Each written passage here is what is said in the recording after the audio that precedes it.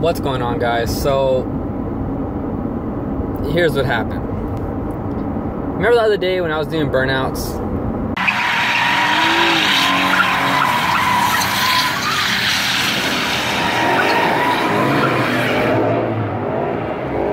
It looked cool, but in all reality, I was kind of, kind of being foolish. You can't can't really do stuff like that unless unless you're willing to buy a new tire. So, where does that leave me? Gotta buy a new tire. Um,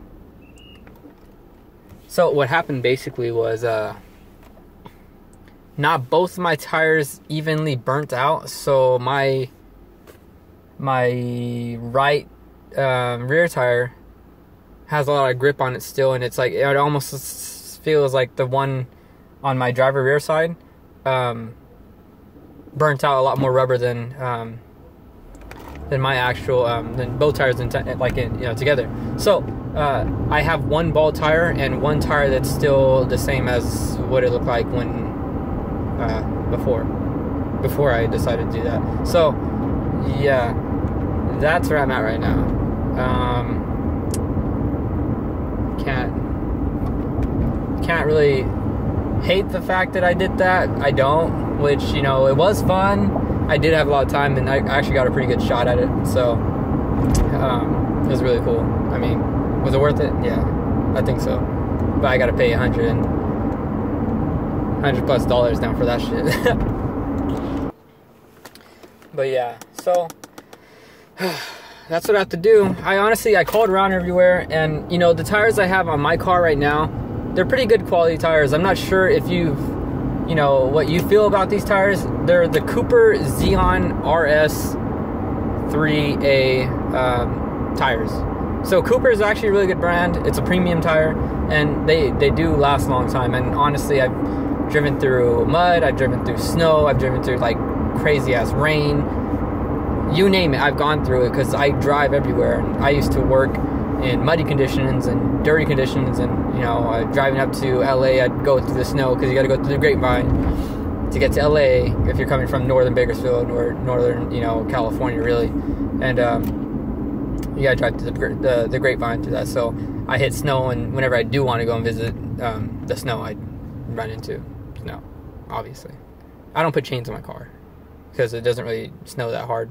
Before like it, everything gets plowed out of the out of the road, I don't really go through uh, snow and with chains. So, um, yeah, they're a good tire. And you know what? I'm not gonna put some cheap ass tire in my car either, because let's face it, someone's calling me. Hold on.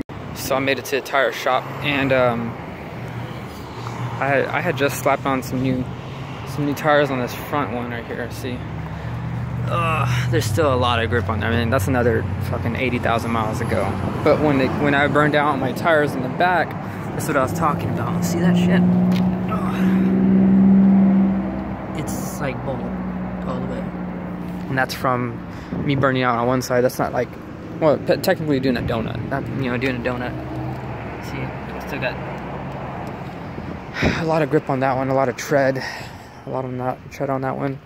But um, yeah, man. So you know, this this holds me back from you know going out of town all the time and shit like that too. So this is what you got to do. But I mean, it was worth it. Shit, it was fun. It was like a one-time thing, if anything. I mean, maybe later on when I become a baller, shot caller, and I can do this every weekend. But uh, I can't be spending money on on tires like this all the time. Nah, I'm just kidding. I probably will. But whatever.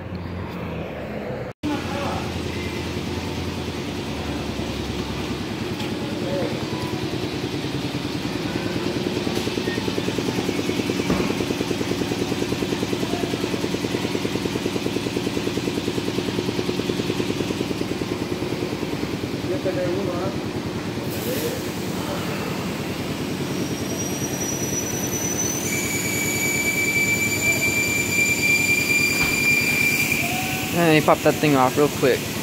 Ugh.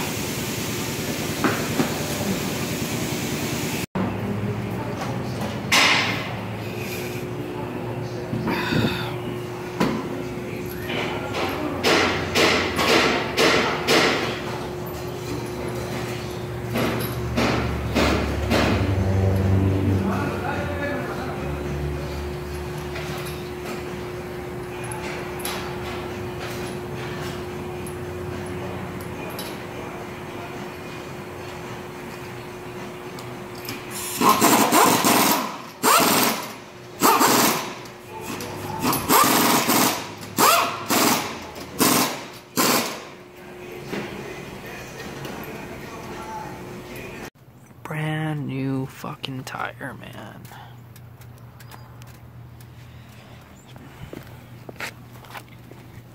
Oh, so much difference.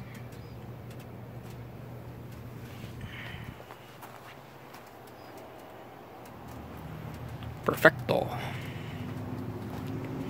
Alright, so got the tire on finally, and uh, man, it's a trip because it feels. Can't really feel like, you know, can't really say it's like, oh, it feels a lot smoother or anything like that. It almost feels like my backside of my car was like raised up a little bit. And, um,